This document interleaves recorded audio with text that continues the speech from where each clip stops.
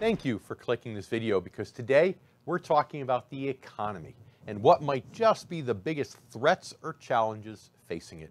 And of course, I'm here with my good friend Jeff Small, president of Arbor Financial Services, a retirement income store located in Melbourne, Florida. Jeff, as usual, always great to see you.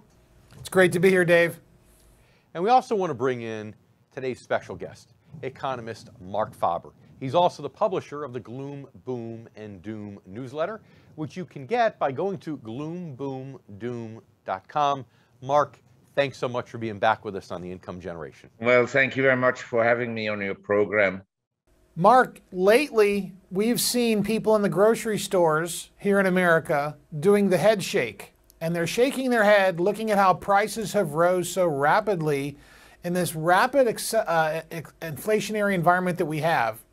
And we know the Fed has poured gasoline on the fire of inflation as the form of accelerant, so they are really a lot to blame here with this inflationary issue.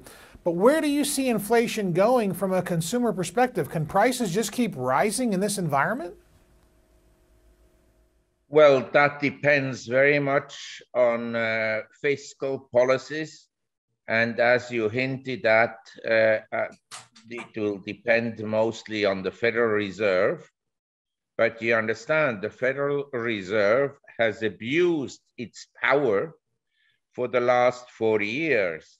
For the last 40 years, they have pursued monetary policies that encourage consumption and that encourage asset bubbles.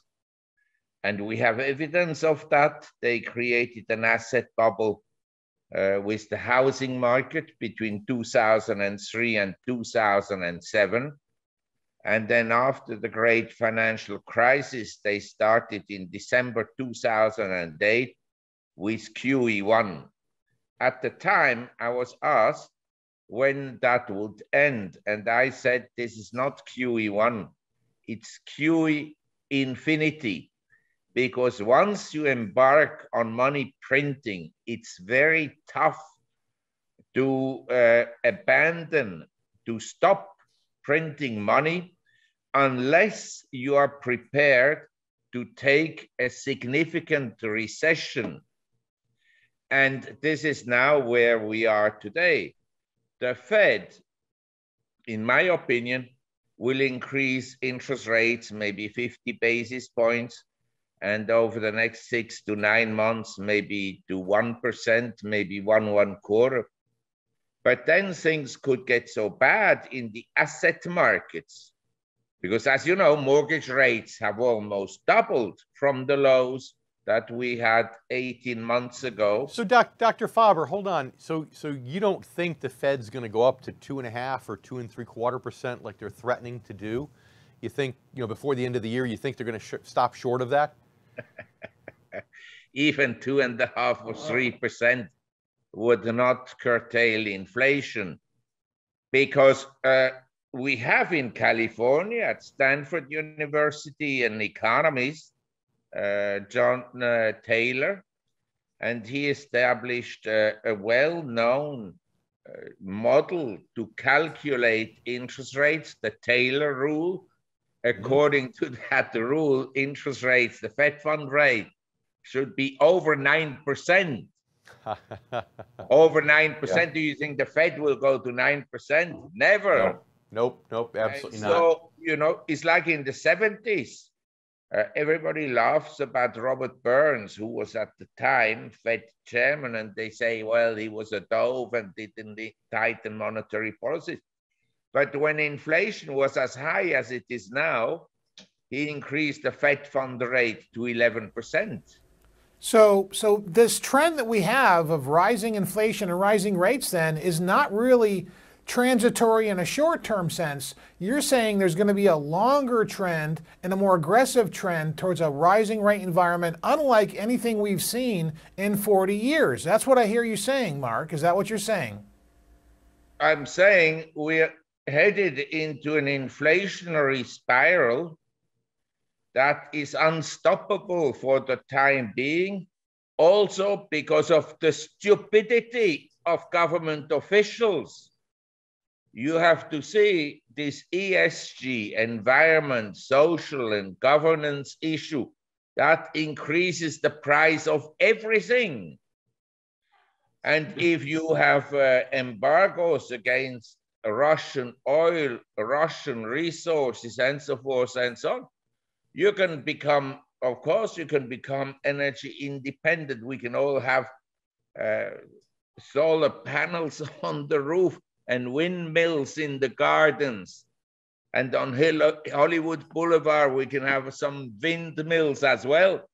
But the cost is incredible.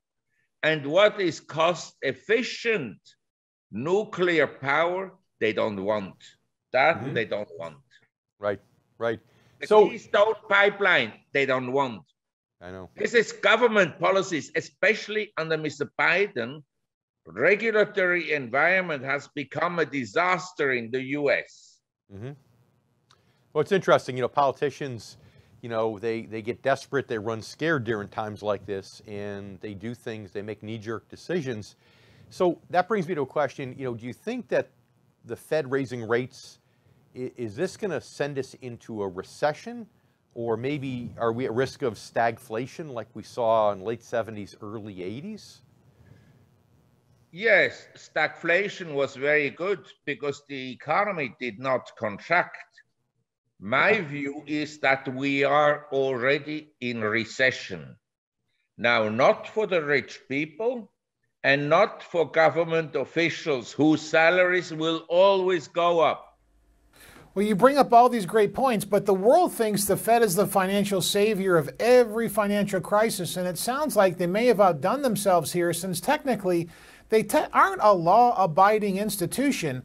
They've got a blank check and they can do whatever they want. And so you're saying the, the chickens are coming home to roost, then, I guess, is what you're saying, basically. What I'm saying is the Federal Reserve is the arsonist. They put on the inflationary fires, they put on bubbles, they create bubbles. And then when everything collapses, they come in and says, look, because of us, it's not worse than it already is. That's what the Fed does. The Fed and other central banks are criminal organizations.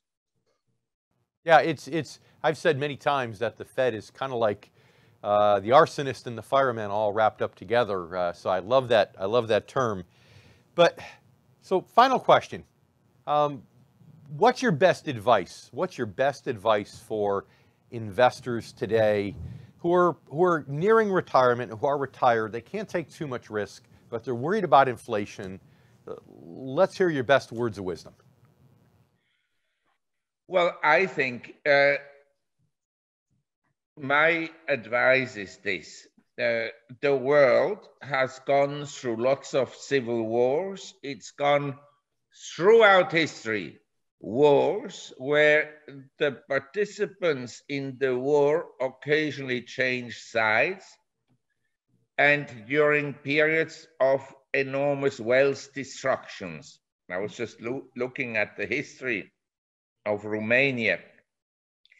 They used to burn down entire villages and cities and so forth. I look at the history of the Mongolians. They used to burn down and flatten like Baghdad, entire cities.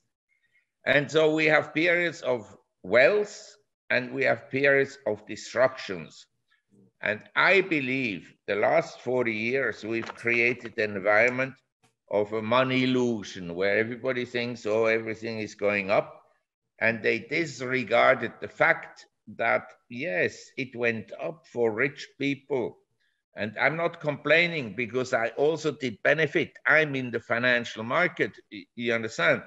So I'm not complaining about myself.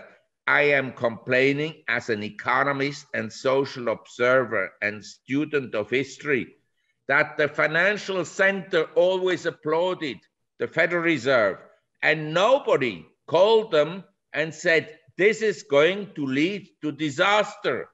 Yeah and we are there. And I would prepare for everybody to lose money.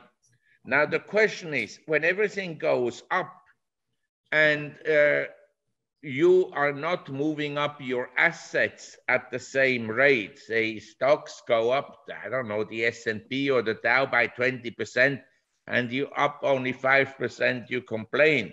Now people should think, oh, all these FANG stocks, the meme stocks, the SPACs, they're down 70% with few exceptions. If I'm only down 10%, percent mm-hmm. I am doing very well relative yeah. to the rest. Of That's what sure. people should be thinking about. How do I lose the least?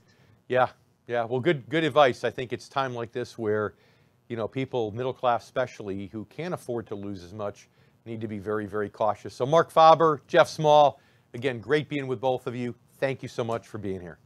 Well, thank you very. Thank you, gentlemen.